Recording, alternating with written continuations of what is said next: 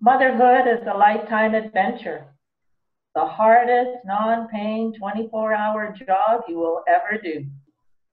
It means to sleep with one eye open and to always worry if you try, even if you try not to. You need to be a guide, a coach, a cheerleader, policewoman, a superhero, a friend, and a confidant. Even if you're ill and all you want to do is hide under the covers. You need to do your best and remember it is okay not to be perfect. To give lots of love under any circumstance. The kissing of boo boos and hugs from the time your child is born through adulthood.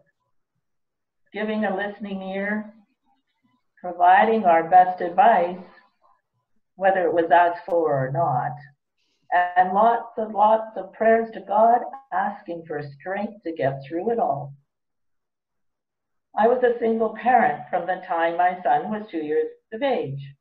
I needed to be both mother, father, and at the same time work a full time job.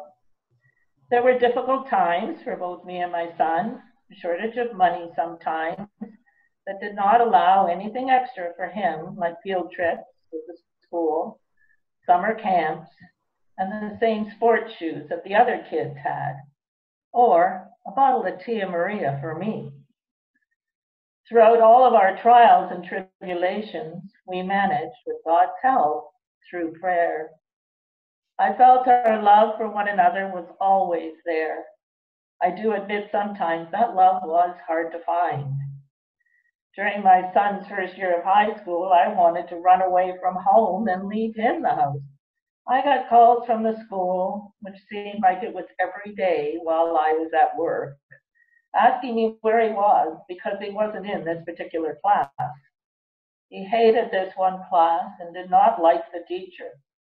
He still did not show up for every class as he was supposed to, no matter how many discussions he and I had about it. Oddly enough, he passed the course with a good mark. Go figure. What was all that angst about? After all, it was always in God's hands. Once he finished high school, he went off to university.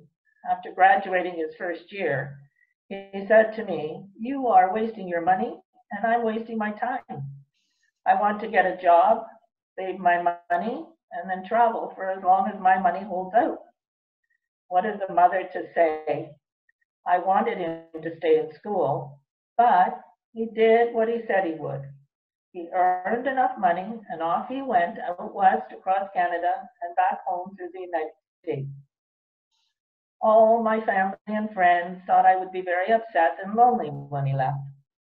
The thing is, I finally had time for me. And I did not feel lonely or guilty about how I felt at all. And no, I didn't change his room into a gym while he was gone by any means. But our love for one another is always there. We do not leave each other physically or end a phone call ever without saying, I love you. God has blessed us and watches over each of us. By the way, if my son knew I was talking about him to all of you, he would not be happy with me, to say the least. So I will not be confessing to him about what I said today. But now, all of you know what God has always known. I will end with this. A mother is God's special creation a mother is a light shining in the dark, illuminating the path for her family. Have a blessed and happy Mother's Day.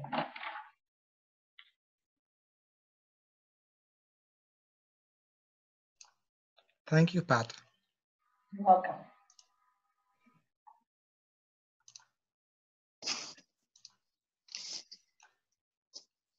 Good morning, everyone and happy Mother's Day. What does it mean to be labeled mother? According to the dictionary, the definition of mother is a woman in relation to her child or children. Robert Browning said of motherhood, all love begins and ends there. Abraham Lincoln said, All that I am or hope to be, I owe to my angel mother. And Rumi said, We are all born of love. Love is our mother. Yes, mothers are very special people. I believe it to be true because I am a witness. They are the embodiment of love, warmth, nurturing, protection, patience, and understanding. I have always marveled at the strong pull on love a child has for his or her mother. I never saw my husband cry until the day he agreed to be one of his family's pallbearers for his mother on the day of her funeral. My own son, from the time he could walk and talk, has always been my protector through words and deeds. My bright, practical daughter keeps me grounded. These days, she picks up and delivers my weekly groceries coming to Thornhill from Newmarket. My own mother left this earth a mere five years ago, but not a day passes without her occupying my thoughts.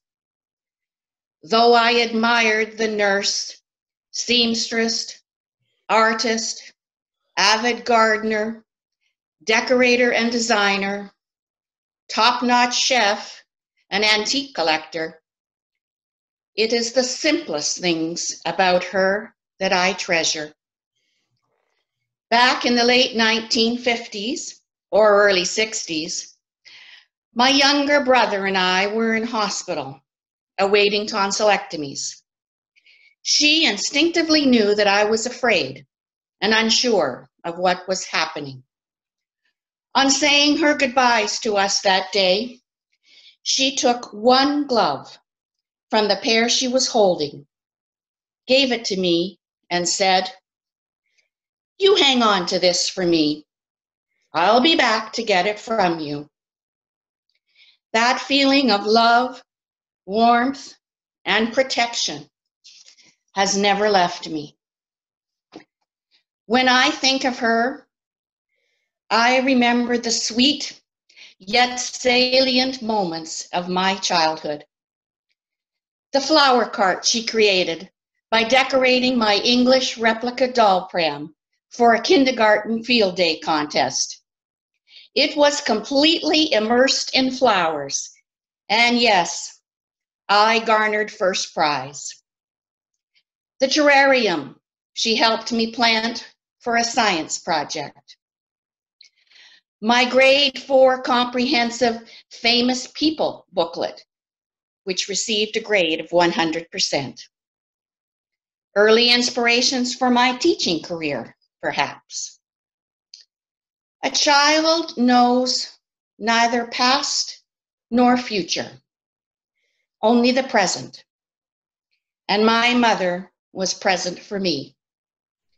Throughout my childhood, Mom and I were best friends, but I will always think of her through my innocent, childish eyes.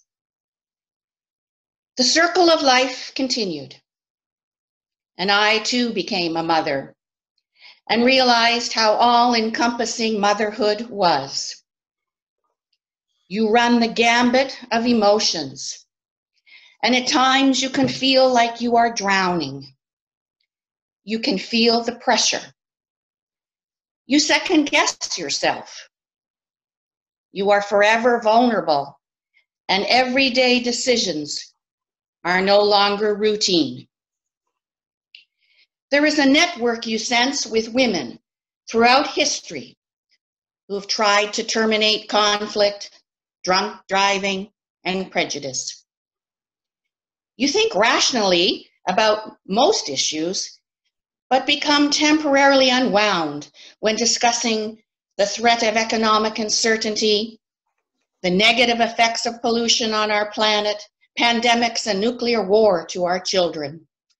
As we all know, life doesn't come with a manual, it comes with a mother. Jacqueline O'Kennedy, Jacqueline Kennedy Onassis said, if you bungle raising your children, I don't think whatever else you do well matters very much. It took me a long time to understand that perfection and motherhood can be a toxic mix. The solution is to enjoy the pure, unadulterated love that encompasses your whole maternal being. My children are grown now, are successful, and happy. I did a good job, and I am proud. If lucky, life's journey brings you around to the role of grandmother at a time when you are wiser, patient, and oozing with hugs and kisses, short on criticism, and long on love. I am blessed with two exceptional grandsons and one delightfully funny granddaughter. Few things are more delightful now than grandchildren fighting to sit on your lap. A grandmother's love is strong, pure, unconditional. Hmm, like that of a mother. Mother and grandmother, a role most never regret, though we are mere mortal beings who stumble along life's path into this most wonderful of callings, that of being a mother, a blessed gift from God. I'll leave you with a quote from one of my favorite writers, Rudyard Kipling, who said, God could not be everywhere, and therefore he created mothers. Thanks be to God. Amen.